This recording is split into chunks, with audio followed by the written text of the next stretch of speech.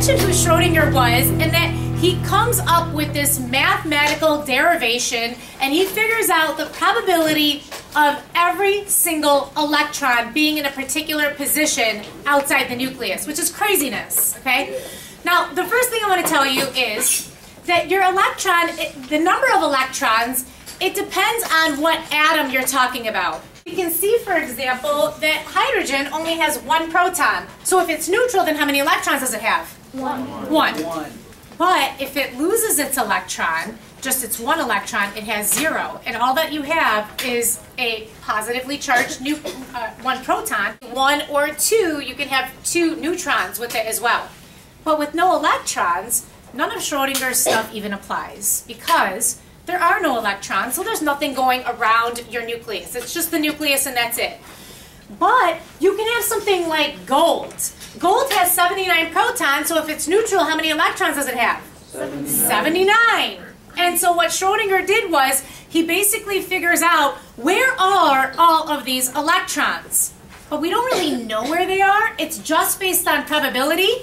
But he calculates where is the where is the highest pro- probability of locating the electron outside the nucleus, and he comes up with just like an address. So, for example, let's say that I wanted to know where you were um, with it, just in the in the world. Okay, where were you? All right, and we found out first of all we said that N referred to what high school you went to. Okay, so we would say West Bloomfield High School. Then within West Bloomfield High School, what block are you in? Are you in the science block? Are you in the math block? So now here we're at about how many people go to the school? About 2,000, right?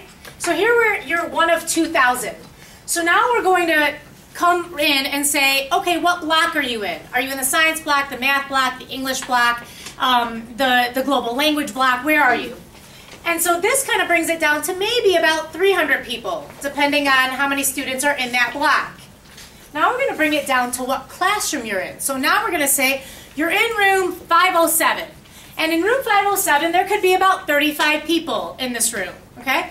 So we would say you're one of 35. And then we're going to bring it down one more to say what desk are you sitting in. And the idea that what Schrodinger did was he first talked about, and I'm going to explain, we're going to go through all of these. He first talks about what energy level is the electron in? Is it just outside of the nucleus? Or is it seven levels outside of the nucleus? Second thing he looks at is called the sublevel or the shape. And within each energy level, there are different shapes, and they call them sublevels. It's like rows in a theater or sections in a theater. And so within those, what shape, within those energy levels, what shape is the electron in? Then we look at, there are things called orbitals. And each orbital is like a cloud. It's like a cloud shape. And within each cloud, you can actually have two electrons. And then we're going to get down to which direction is your electron spinning. So of those two electrons, which one are we talking about? We're actually going to start here in the notes because this is the easiest one. And then we'll bounce back and talk about energy levels, talk about the shapes, and then talk about this, what are orbitals. But we're going to actually start with the spin. And the spin is the easiest one of all of those, okay? And what it basically tells us is it gets us down to energy level, sublevel, which orbital, then which spin does your electron have in order to be able to pinpoint where the electron is with highest probability, with the greatest amount of probability, away from the nucleus. Okay, and that's that's what Schrodinger basically did for us. And he, he his um, the way that he did it. First of all, even though these are called quantum numbers, what are you noticing? They're not numbers. They're letters. Okay. But what he, the reason why he calls them quantum numbers is because he uses numbers to describe each one. And so we're going to talk about that today as well. Okay? So let's start off with um, what the quantum numbers are. So this is called, this is n, and it's called the principal quantum number. This is L, it's called the azimuthal quantum number. This is actually supposed to be m subscript L. So if you write it as m subscript L, that's basically how it should be written. And then this one is M subscript S, MS. And the M stands for magnetic, so that's the magnetic quantum number. So why do you think this one says MS? What do you think the S is for? Spin. Perfect. It's the magnetic spin quantum number. So they're pretty easy to, um, to remember. So let's talk about the spin. And um, so in every single cloud, let's talk about this cloud for just a minute. They're called orbitals. They're not orbits, they're orbitals, okay? So if you imagine having a cloud, and what are our clouds made of? What do you know they're made of? What's water in the cloud? Vapor. Water, right? It's just water. Is there a hard solid line? So those of you that have ever flown through the clouds, is there a hard solid line where all of a sudden, if you were able to reach out, reach your hand out, um, out to the clouds when you were on a plane, would there be something that would be solid that would hit into your hand? No. Yes or no? no? No. There's no solid line. And are the water molecules confined to the inside of your cloud shape? No. Are the water molecules confined to it? No. no. You can actually have water molecules that are outside of it, okay? But what happens is they accumulate, and so then you can get different types of clouds, right? So you can have those cumulonimbus clouds or a whole bunch of different types of clouds. But the thing is, those water molecules can be outside. They don't have to be all the way inside, okay? And it's not something that's hard and solid. And same thing with this. What happens is these cloud shapes are simply where the electron may be where it may be. Not where it is, not where it definitely is, it's where it may be with the highest probability. And so he draws dots, and the where it's darker, where it looks more dense, is where there's a higher probability, and that's all it is. So within these orbitals, or these cloud shapes, he says that you can fit two electrons. What's wrong with having two electrons in the same space? They're, they're, uh, they what? Repel. They repel. repel. Why do they repel? They're both negative. negative. And you, we know that opposites attract, but two like charges will repel. Yes? Yeah. So, the question was, how was it that you could have two electrons in one orbital? So there actually there's a different scientist that did, that did this, but his name was Pauli, and we'll talk about him. He's one of the it's one of the vocab words um, actually Pauli's exclusion principle. So what they ended up saying, what the scientists at the time ended up figuring out was if one of them was spinning in one direction, I want everybody to try this, and the other one was spinning in the opposite direction. Those of you that are musicians will probably have an easier time with this. What I want you to do, it's, harder for people that don't play music. Here's why. People that play music, a lot of times, if your right hand, so I've been playing the piano lately, your right hand is doing something, your left hand may be doing something different, and so we we may be it may have an easier time doing that. Okay, so what I want you to do is I want you to spin in one direction, let go, Close your eyes if you want. I want you to let go. Okay, let go of that. Just let your hand keep moving. Now I want you to add your left hand in and see if you can just spin your left hand in the opposite direction. Okay? If you're a musician, you'll probably get it more quickly if you've never done it before. All right? Then you can try to, to move your leg at the same time and see if that works.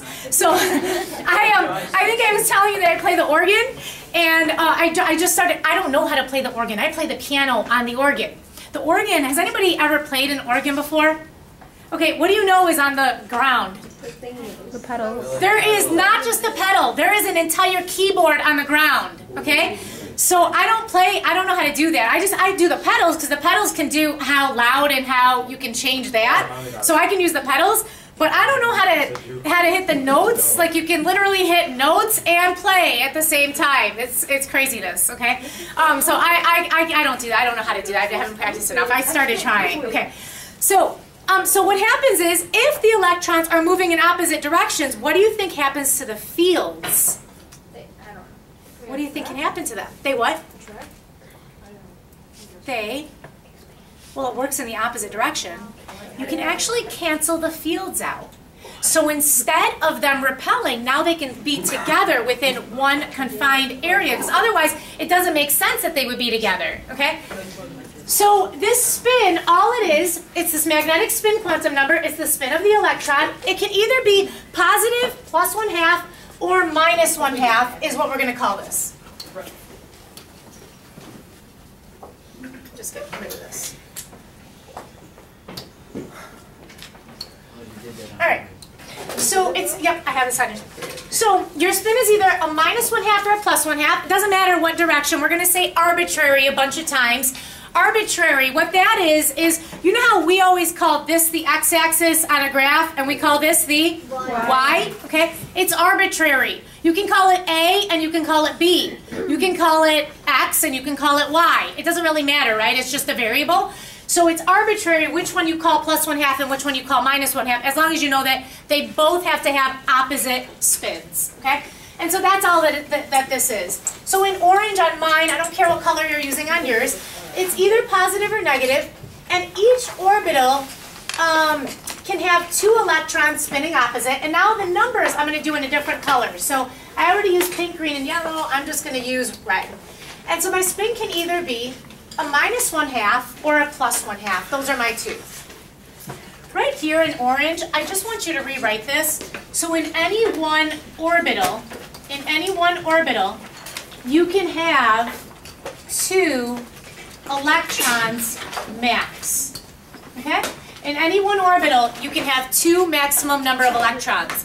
You don't have to have any electrons. You can have zero. You can only have one. It's possible to just have one, but two max. One plus one half, one spinning the opposite is minus one half. Okay? Good with spin? So that's the, that's the whole idea of spin. Let's come back and let's talk about this N, this energy level.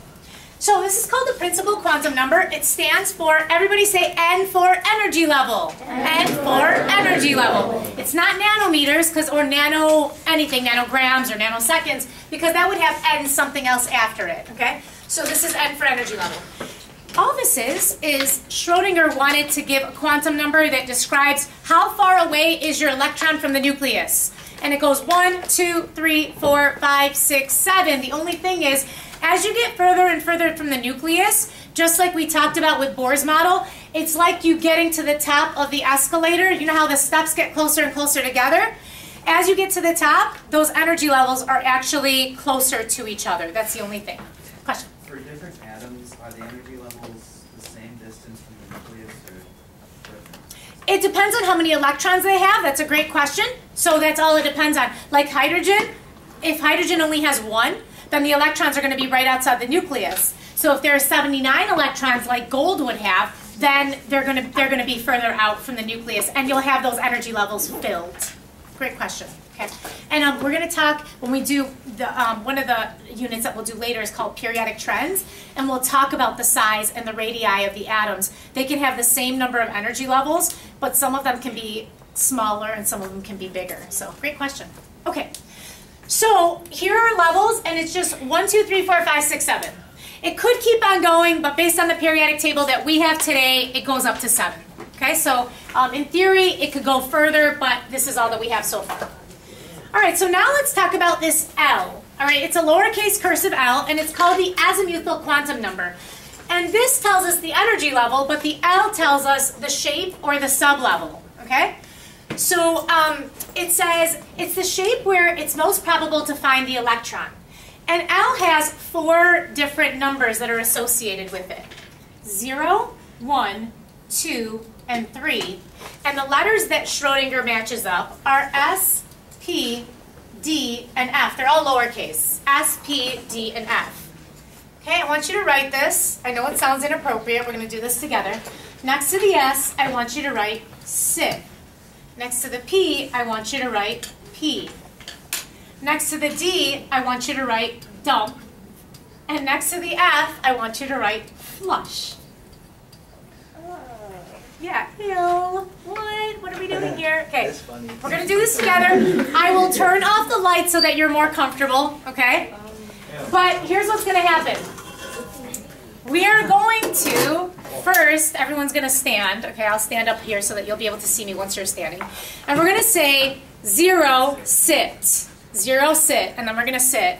Then we're going to say one, pee. Then we're going to say two, dump. You've got to use your low voice, your lowest voice. Two, dump. And then you're going to go three, and you're going to go three, flush. Okay? So everybody do this with me. Everybody say, now explain it after. Okay? Everybody stand up. I'll turn off the lights for you. I'll turn off the lights. I can't Yeah, keep it see everybody. Okay, here we go. Ready? Everybody stand up. On the desk? You're gonna do this with me? Yes. No, no, you don't. No, you don't have to get up on your desk. Okay, ready? Here we go. You're gonna say this with me. It's gonna go zero sit. Everybody say it. Zero sit. Go sit. One P. Say it. One P. Okay, now two and then a low voice do. Two do. And three flush. Everybody stand up. It's your exercise for the day too. Everybody stand up. Here we go. Ready? Here we go. Zero sit. one P, two dump, three flush. Last time, stand. Faster this time. Ready? Here we go. Zero sit, one P, two dump, three flush. Awesome. Let's turn the lights back. Okay. No, that's not part of that's not part of Schrodinger's thing, okay? But this is I, I try to have ways of remembering things. And so the cool thing about this is because you might be thinking like, couldn't she have come up with other things that started with an S, a P, a D, and an F? But watch, because it gets better. Okay. If you if you had to go P, but you wanted to use a number, and you were like, hey, I gotta go, I gotta go P, but you were like, gotta go, gotta go. What number would you use if you had to go and you wanted to give them a number? Everybody say it. One. Okay, if you had to take a dump, you're like, oh no, gotta take a dump, gotta take a dump. You would say, I have to go? Number two. Awesome, okay? Now, there isn't a sit, so then I added the sit. That's just gonna be your zero. So you would first sit, then you would go number one, that's P. You would go number two, that's dump. And then don't forget to flush, like my kids do. Okay, so that's gonna be your three, it's gonna be your flush, all right? Um, so you need to be able to relate the letter, the numbers to the letters. Okay? You need to be able to relate the numbers to the letters. So zero is a sit. What's one? P. What's two? Dump. And what's F? Flush. Or what's three? Flush. F. Flush. Okay. So as long as you can remember what letter goes with what number, then that will um, that's going to help you a lot with this. So these are the shapes though, and we haven't said anything about the shapes. I gave you some letters, but I'm going to tell you first that he was Austrian, so this isn't, he, these aren't done in English, okay? But the S still works. The S is a sphere shape. So this shape right here is sphere. So that's what the S is, it's sphere, okay? The P, we're to say peanut, but it's actually not called a peanut. If you look up here, it's called a dumbbell, okay? So in the books, they don't call it a peanut, but we're gonna say peanut, that way you remember P for peanut, okay? If you watch videos, if you watch, if you do something in the books, they're not gonna say peanut, they're gonna say dumbbell, okay? This next one is actually called clover, but we're gonna call it daisy instead. And that way it starts with a D, okay? So instead of calling it clover, I will still refer to it as clover, but just so that you can remember it, you can think of that as daisy. And then the F's aren't shown on here, okay? So these are the four shapes. There's sphere, there's there's peanut, um, or the dumbbell, there's the clover, and then the F are really complex. I will show you how those are drawn. I'll show you um, a picture uh, from the internet um, on that as well.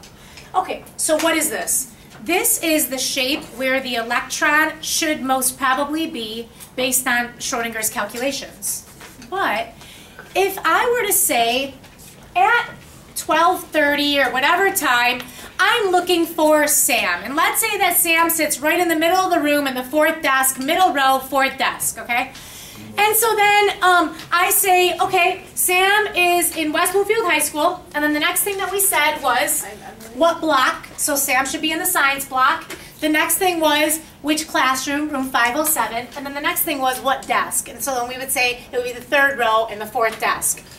Now, what are the chances chances that Sam is there? Well, it depends on the time, right?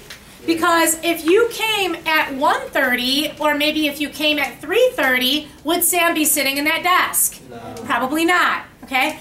And maybe Sam's not in that desk because Sam is at a lab table, all right? Same thing with the electrons. The electrons, it is possible that they're not where they're supposed to be, but this is where the calculation is with highest probability. So that's what these cloud shapes are.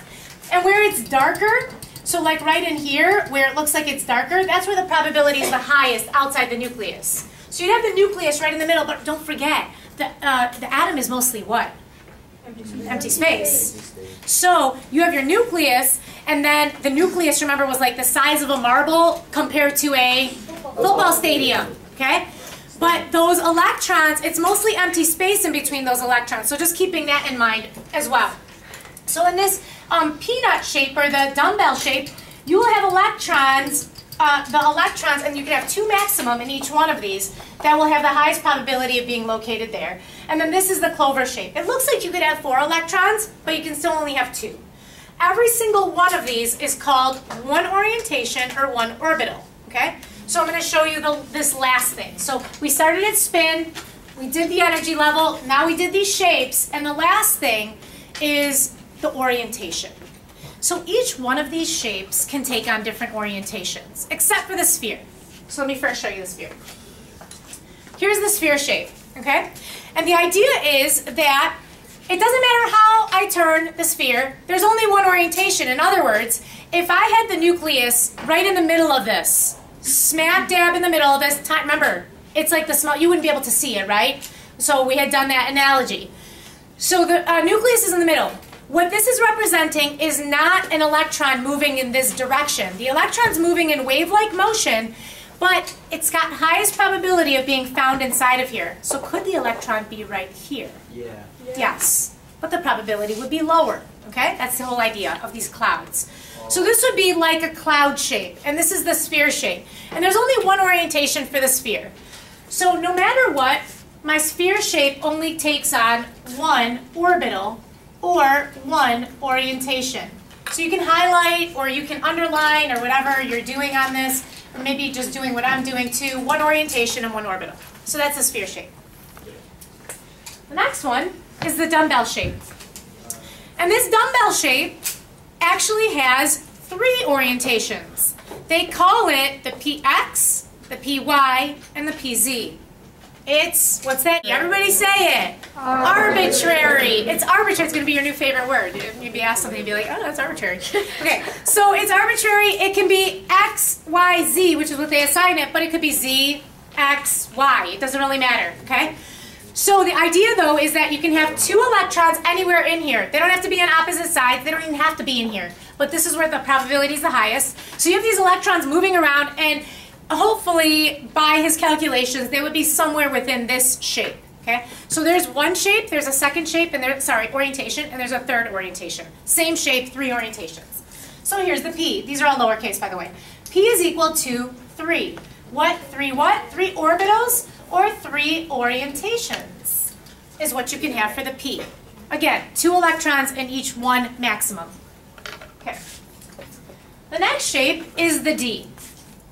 And the D actually has five different orientations, five of them. So let me show you. And um, in this picture, this is called the DXZ, the DYZ, the DXY, the DZ squared, and the DX squared Y squared. There are five of them. You don't have to memorize them, okay?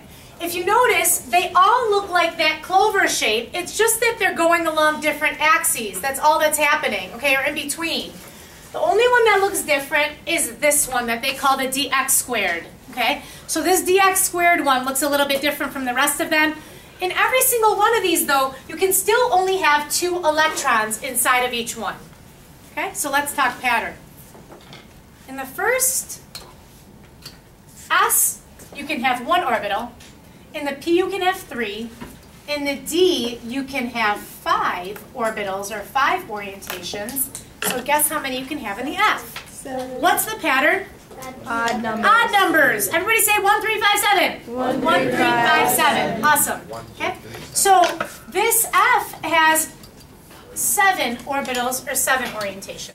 Okay, so these are what the Fs look like, and the Fs are really complex. So there isn't one set name for the Fs, but there are seven different orientations of the F, and um, that's again each cloud shape, each uh, orbital here can only have how many maximum electrons? Two. Two. Perfect. Okay.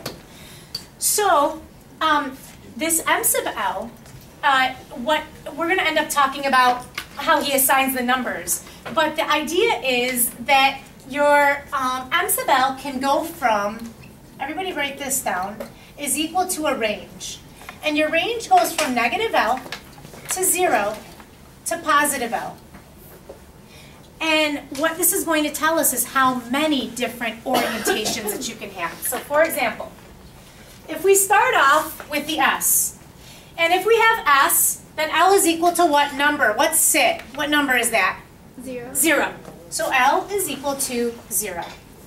Then your M sub L can only be equal to zero because there's no negative zero and there's no positive zero. It's going to be whole numbers. It's going to go like negative three, ne negative two, negative one, zero, one, two, three, for example. Okay. So then your m sub l is equal to zero, which means that it only have one orbital or one orientation there. And that was the s, that was that sphere shape that we talked about having, that the s just has one orbital or one orientation.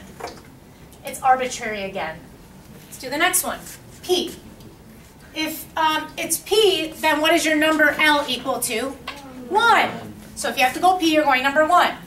So now your m sub l can be equal to negative 1, 0, and positive 1. Awesome. Negative 1, 0, and positive 1. The numbers are arbitrary. 0 doesn't mean nothing. 0 actually is one of the orientations. We can call it px, py, and pz, or we can call it negative 1, 0, and 1. Or we could call it LMN. It doesn't really matter, okay? But they're just assigning numbers to it. So this is negative 1, 0, and 1. Now let's do the D. If you had to take a dump, you're going number 2. L is equal to 2. Now your M sub L, everybody do this with me. So we're going to go from negative 2 to positive 2. Go. Negative 2, negative 1, 0, 1, 2. How many orientations is that? Five. Those are the five orientations, negative 2, negative 1, 0, 1, and 2, that we talked about with the D shape having five orientations. One of them looks like this, and then the other four look like this. Okay, look like the clover shape. And the last one, F, is your flush. And what number is that? Three. Three. Okay, so that's going to be our flush. So if M sub L, if L is equal to 3, then now we're going to go do this again. Here we go. Ready? Negative 3, negative 2, negative 1, 0, 1, 2, 3. That's seven orientations. Okay? So these are all arbitrary. There's that word, arbitrary. And it just goes from negative L to positive L. And let me just tell you two more rules before we take a break here. Um, for N, N, uh, I can stay in red actually, so this is the rule. So N basically just goes from 1 to 7. That's the rule for N, okay? N goes from 1 to 7. The rule for L is that L must be less than N. L must be less than N, and it cannot be anything, uh, it's, it goes from 0 0, 1, 2, and 3. Those are your only choices. 0, 1, 2, and 3, and it has to be less than n. Okay? So those are your choices about. Why? Because they only have four shapes. That's all that Schrodinger figured were four shapes. M sub L, we said, is negative L to 0 to positive L. And the last one is M sub S. And we said that M sub S can either be equal to plus 1 half or minus 1 half. Either one. Okay, so last thing is um, we're going to draw the atom, do a dot for our nucleus. And then we're going to have our first energy level. And so um, may, my first energy level is going to be a little bit bigger than the rest of them. And so this is n equals 1 and it's sphere shape. And so the idea is that the electron could be anywhere within here. So maybe my electron's there and my second electron is there. Remember, you don't have to have any electrons in there, but if you did, that's where the probability would be the highest, is finding it somewhere within the sphere shape.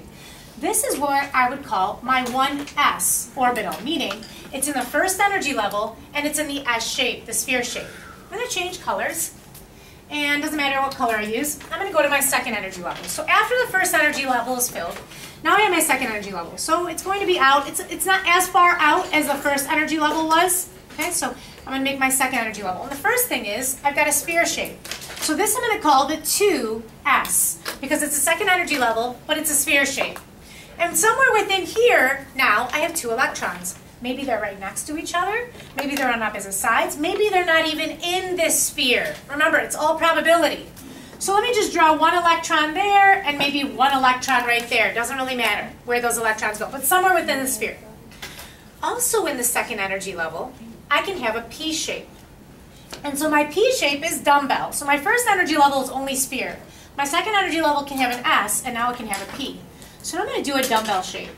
And so coming off of the nucleus, I'm going to have a dumbbell. And this I'm going to call my 2p. Because it's going along the x-axis, I'm going to call it the 2px. Somewhere in here, there are two electrons. So I'm just going to put one there and one there. Maybe I do them on opposite and opposite lobes now. 2px. So now I'm going to do a 2py. Same thing. Now they do overlap. Okay? My y-axis is supposed to go along there and then along there. This I'm calling the 2py. And somewhere inside of here, I've got two electrons. Maybe they're both in the same lobe, maybe not. Now I've got a 2pz. Remember, this shape has three different orientations. So this I'm going to call the 2py. And maybe both of my electrons are in that lobe. Doesn't really matter. So, so far, we have the first energy level with the two electrons inside. Then, we have our, after that gets filled, we have our second energy level, and it's a 2s, and inside of that sphere shape, there are two maximum electrons. But in addition, we have the 2p, x, y, and z, each of which can hold two electrons. So now let's go to the third level. I'm going to choose any color. Let's go with this kind of grayish bluish color on mine. Third level. It's a little bit closer. It's a little bit closer than the second level. This is my 3s. And in my 3s, I can have a sphere shape with two electrons anywhere in there. So I'm just going to do them again. They don't have to be inside there. That's just where the probability is the highest. Now I have a 3p x, y, and z. So real quick, just like we drew these, we're going to draw the 3p x, y, and z. This is going to get to be crazy madness in a second. Here we go. 3px, right there. Two electrons, one there, maybe one there. 3py, one there and one lobe there. Two electrons, maybe one in there and one in there. And 3pz, one maybe there and one maybe outside there. But in the third energy level, not only do we have the S shape, not only do we have the P shape, after you sit and you pee, what do you do next? Dump. We also have the D shape. And the D shape is clover. Four of them are clover, but there are five different orientations. So what we're going to do is we're going to draw five different orientations really, really fast. Watch this. I'm going to pick, oh no, I'm still, I'm still in my third level. So I'm going to use the same color. Here we go. One, two, three, four. Two electrons. One, two. I'm going to do it again. One, two, three, four. Two electrons. Maybe one there, one there. One, two, three, four, going along a different axis. One there, maybe one there. That's third. Was that my third one? Yeah. Fourth one. One, two, three, four. Two electrons. And my last one looks like the donut. It's got one there and one there with the donut. So maybe one electron there and one electron there. Guess what your atom starts to look like? A sphere. So that's what your atom starts to look like. It looks like craziness, okay? So the idea is that, and now that was only three levels. There are seven levels in total. There are seven levels in total. So it gets to be really crazy. But the idea is that outside the nucleus, Schrodinger calculated where the highest probability was of locating these electrons. Okay, so that's it for um, this quantum model for now too. We'll come back and do electron